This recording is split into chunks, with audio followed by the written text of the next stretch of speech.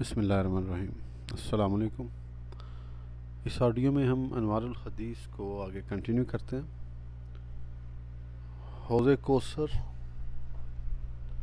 और शफात। हज़रत अनस रज़ी तह ने कहा कि रसूल करीम तस्लीम ने फरमाया कि मेराज की रात में जब मैं जन्नत की सैर कर रहा था तो मेरा गुज़र एक नहर पर हुआ, जिसके दोनों तरफ़ मजूफ़ यानी खोलदार मोती के गुंबद थे। मैंने पूछा, जबरील, ये क्या है? उन्होंने कहा, ये वो कौसर है, जो आपके रब ने आपको अता फरमाया है। मैंने देखा कि इसकी मिट्टी नहायत खुशबूदार खालिस मुश्क की है। बुखारी शरीफ और मशकुआ से।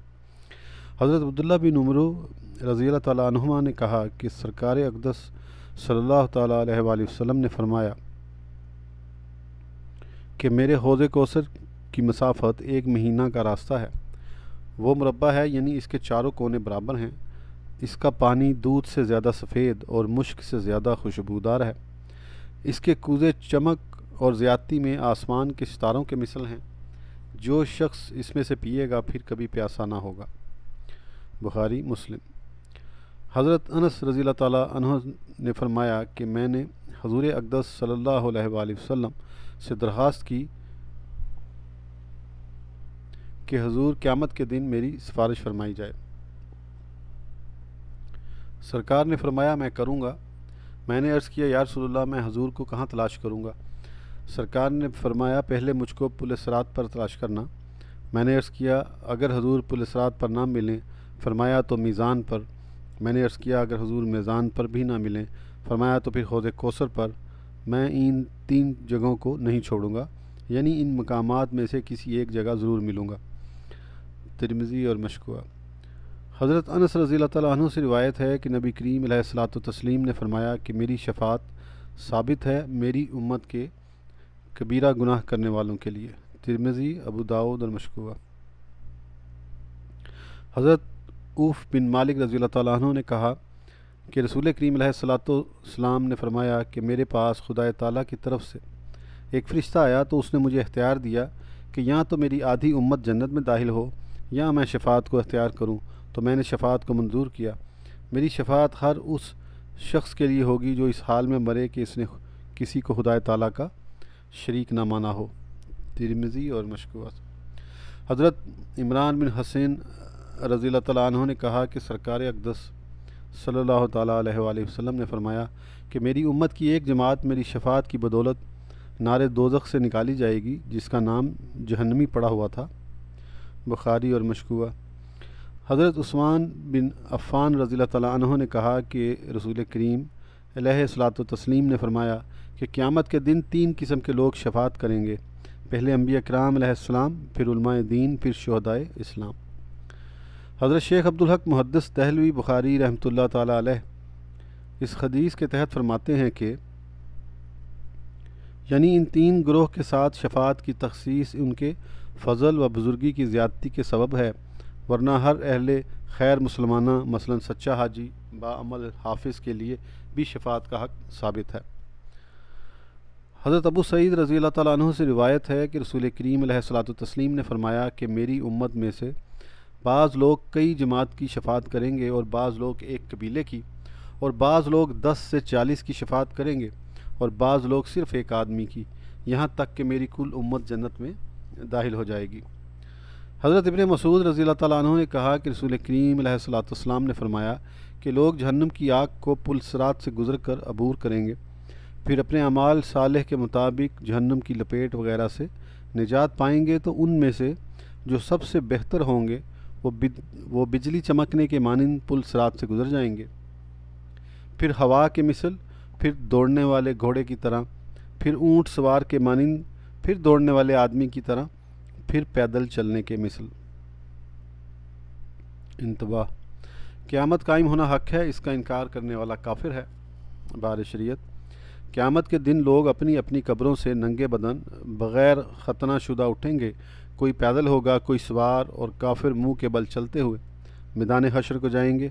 किसी को फरिश्ते घसीट कर ले जाएँगे। मैदान हशर मुल्क शाम की सरजमीन पर कायम होगा। उस दिन ज़मीन तांबे की होगी। सूरज सिर्फ़ एक मील के फासले पर होगा।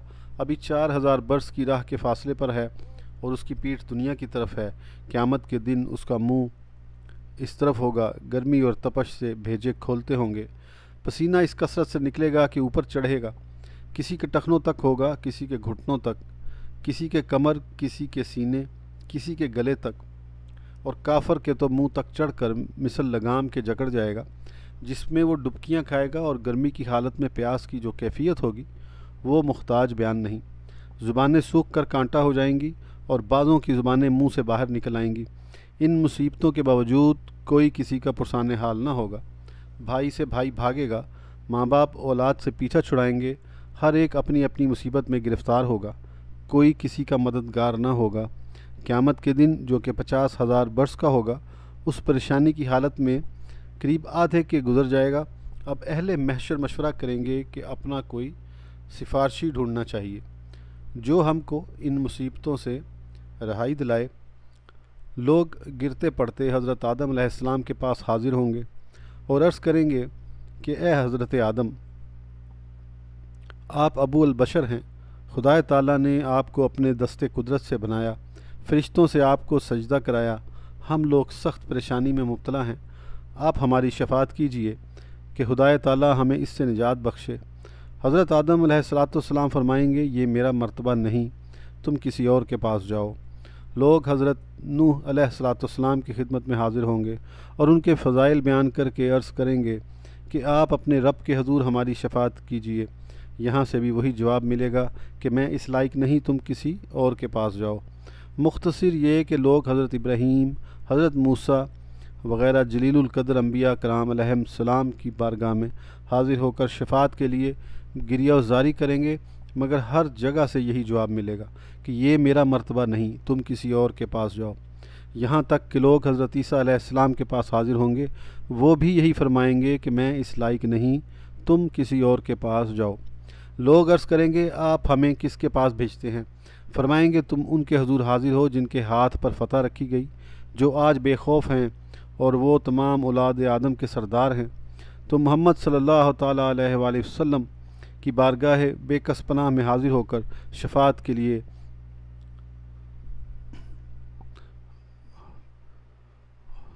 तुम मोहम्मद सल्लल्लाहु अलैहि वसल्लम की खिदमत में हाजिर हो, वो ख़ातमुनबीन हैं। वही आज तुम्हारी शफात फरमाएँगे। अब लोग फिरते फिराते, ठोकरें खाते, रोते चिल्लाते, दुहाई देते हुए शफ़ीमज़नबीन रहमतुल्लामीन जनाब अहमद मुशतबा मोहम्मद मुस्तफ़ा सल्लल्लाहु अलैहि वसल्लम की बारगाह बेकस पनाह में हाजिर होकर शफात के लिए अर्ज़ करेंगे। हजूर सल्लल्लाहु अलैहि इरशाद फरमाएँगे अना यानी शफात के लिए मैं हूँ। ये फरमा कर बारगाह इलाही में सजदा करेंगे। इरशाद होगा। तर्जुमा, यानी ए मोहम्मद, अपना सर उठाओ और कहो, तुम्हारी बात सुनी जाएगी और जो मांगोगे मिलेगा और शफात करो, तुम्हारी शफात मकबूल होगी। अब शफात का सिलसिला शुरू हो जाएगा। यहाँ तक कि जिसके दिल में राई के दाने से भी कम ईमान होगा, सरकार अकदस सल्लल्लाहु अलैहि उसकी भी शफात फरमाएँगे। शफात हक है, इसका इनकार करना बदमजहबी और गुमराही है। जैसा कि हज़रत शेख अब्दुल हक मुहदस दहलवी बुखारी रहमतुल्लाह फरमाते हैं कि इनकार शफात, बिदत जलालत सत चना का ख्वारिज व बाज़ मतज़िला बदान रफ्ता अंद और हज़रत मुल्ला अली कारी रहमत बारी फरमाते हैं कि, यानी इमाम नूवी की किताब शरा मुस्लिम में है कि इमाम काजी यास रहमत ताली ने फरमाया कि अहल सुन्नत जमात का मज़हब ये है कि अकलन शफात जायज़ है और इसका वजूब समाई है, इसलिए कि खुदा ताला ने खुल्लम खुल्ला इरशाद फरमाया। तर्जुमा सूरत आयत एक सुनो यानी इस दिन किसी की शफात काम न देगी, मगर उस शख्स की जिसे रहमान ने शफात करने का अज़न दे दिया हो और उसकी बात पसंद फरमाई हो।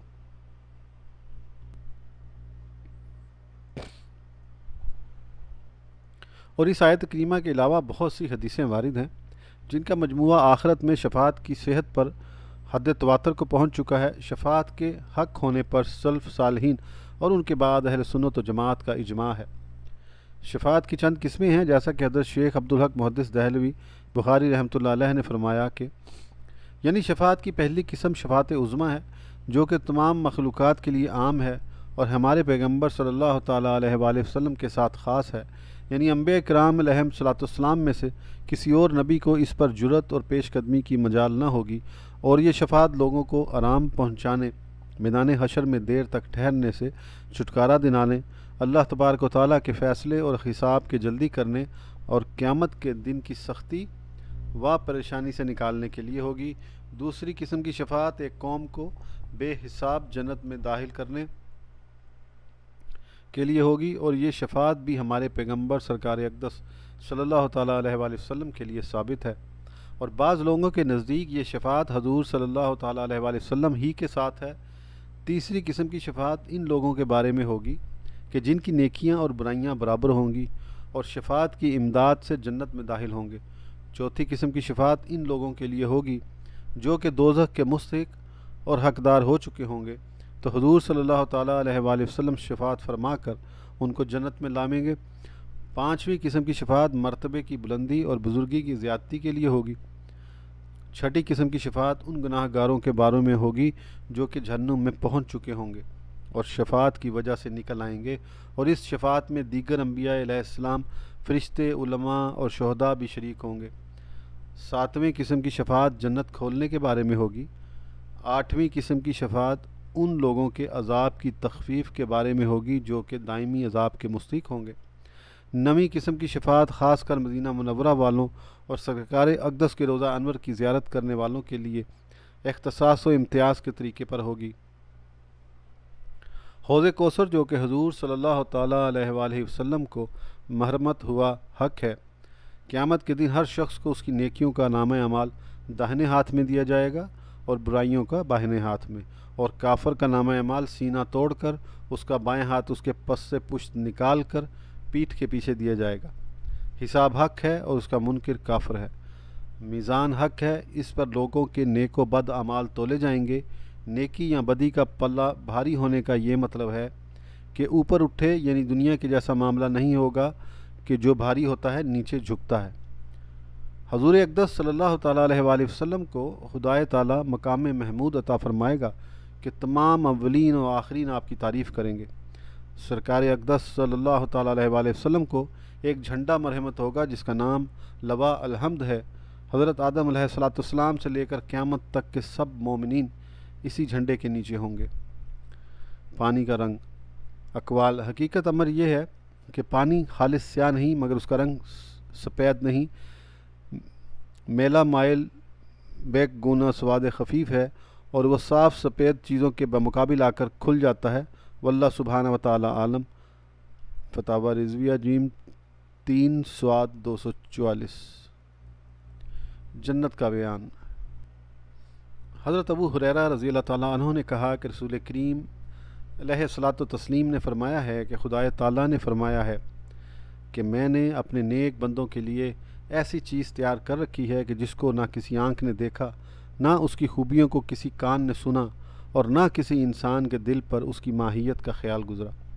हज़रत बुरैदा रज़ी तु ने कहा कि सरकार अकदस अलैहि वसल्लम ने फरमाया कि जन्नतियों की 120 सफ़े होंगी और उनमें से 80 सफ़ें उस, इस उम्मत की होंगी और 40 सफ़ें दूसरी उम्मतों की।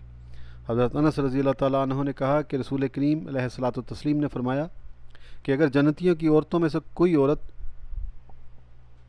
ज़मीन की तरफ़ झांके तो आसमान से ज़मीन तक मुरवर हो जाएगा और सारी फ़िज़ा ज़मीन से आसमान तक खुशबू से मअतर हो जाए और उसके सर की ओढ़नी दुनिया और माफिया से बेहतर है। हज़रत साद बिन नबी वकास रज़ी अल्लाह से रिवायत है कि नबी करीम सलात तस्लीम ने फरमाया कि अगर जन्नत की चीज़ों में से नाखुन बराबर कोई चीज़ ज़ाहिर हो जाए तो आसमान और ज़मीन के इतराफ़ व जवानब उससे आरास्ता हो जाएँ और अगर जन्नतियों में से कोई शख्स दुनिया की तरफ़ झांके और उसके कंगन ज़ाहिर हो जाएँ तो उसकी रोशनी सूरज की रोशनी को मिटा दे, जैसे कि सितारों की रोशनी को सूरज मिटा देता है। हज़रत अबू सईद व अबू हुररा रज़ी तमा से रवायत है कि रसूल करीम सलात तस्लीम ने फरमाया कि पुकारने वाला पुकार कर कहेगा कि या जन्नत वालो, तुम तंदुरुस्त रहोगे, कभी बीमार ना होगे, तुम ज़िंदा रहोगे, कभी ना मरोगे, तुम जवान रहोगे कभी बूढ़े ना होगे और तुम आराम से रहोगे, कभी मेहनत व मुशक्क़त ना उठाओगे। हज़रत जाबिर रज़ी अल्लाह ने कहा कि सरकार अकदस सल्ला वसल्लम ने फरमाया कि जन्नती जन्नत में खाएँगे और पियेंगे, लेकिन ना थूकेंगे, ना पेशाब व पहाना करेंगे और ना रीढ़ सकेंगे। सहाबा ने अर्ज़ किया क्या खाने का फजला क्या होगा? हजूर अलैहि वसल्लम ने फरमाया कि फ़रहत बख्श डकार आएगी और ऐसा पसीना आएगा जो मुश्क की खुशबू के मिसल होगा। और सुबहान अल्लाह वलहमदिल्ला कहना जन्नतियों के दिल में डाल दिया जाएगा, जो उनकी ज़ुबान पर बेतकल्लुफ़ जारी होगा जैसे कि सांस जारी है। हज़रत इबन उमर रज़ी तुमा ने कहा कि रसूल करीम तस्लीम ने फरमाया कि कि मरतबे के लिहाज से अदना जनती वो शख्स होगा जो अपने बागों, अपनी बीवियों अपनी नेमतों, अपने खिदमतगारों और अपनी आराम गाहों को एक हज़ार बरस की मुसाफत के अंदर फैला हुआ देखेगा और खुदा ताला के नज़दीक सबसे बड़े मरतबे का जनती वो शख्स होगा जो सुबह सुबह और शाम दीदार इलाही से मुशरफ होगा।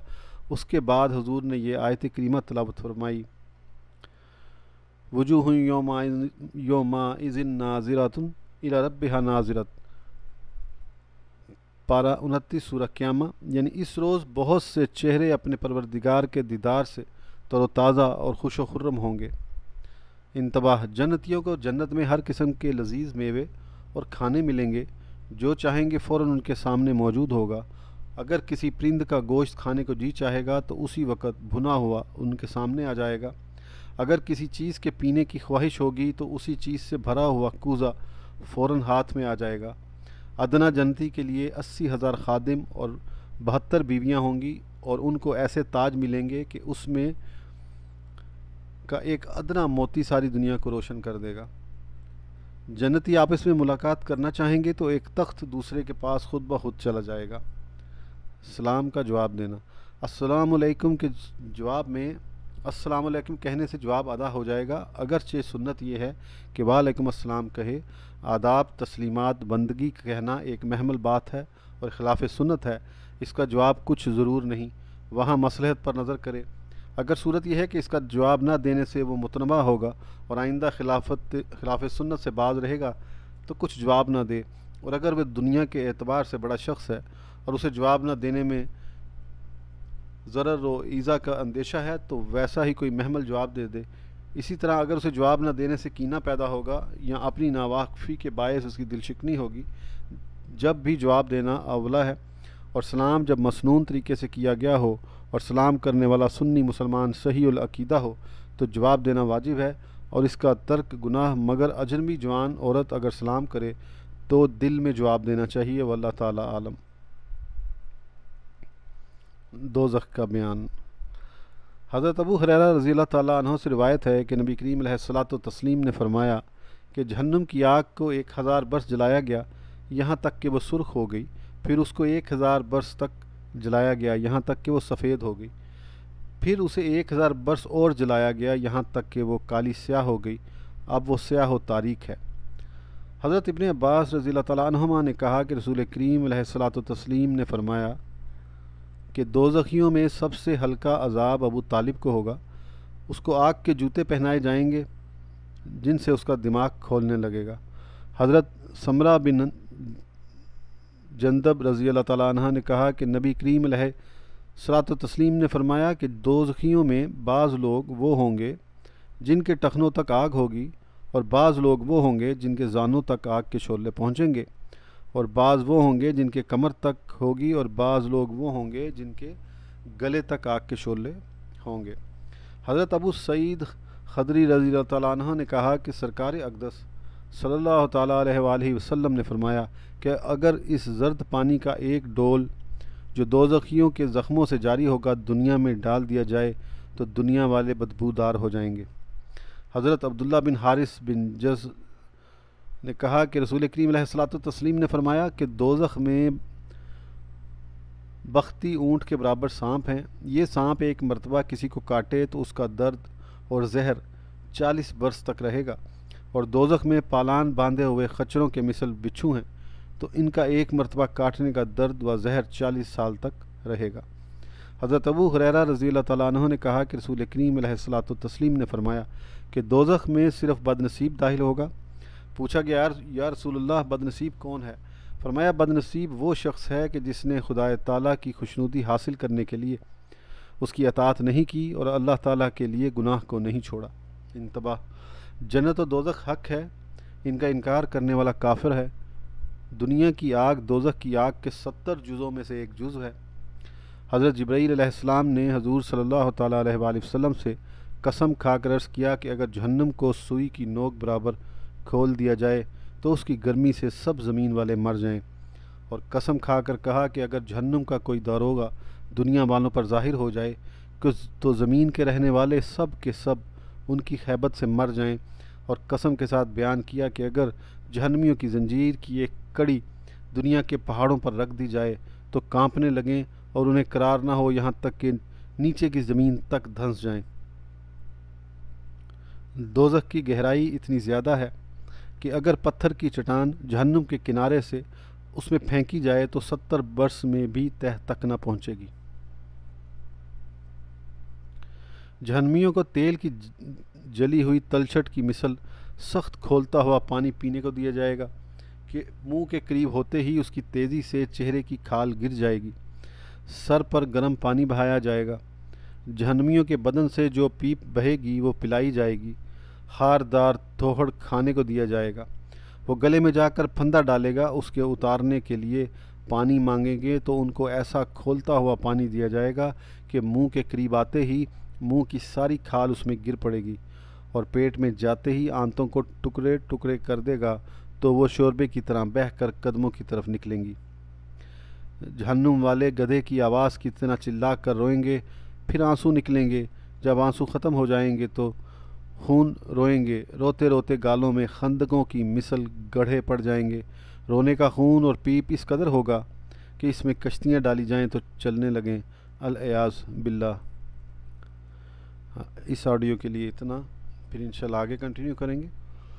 उस वक्त तक के लिए इजाज़त दीजिए। अल्लाह हाफिज़। अल्लाह ताला हमें गुनाहों से महफूज फरमाए और हजूर वसल्लम की शफात अता फरमाए ताकि हम जहन्नुम की इस अजाब से बच सकें। इजाज़त दीजिए अल्लाह हाफिज़।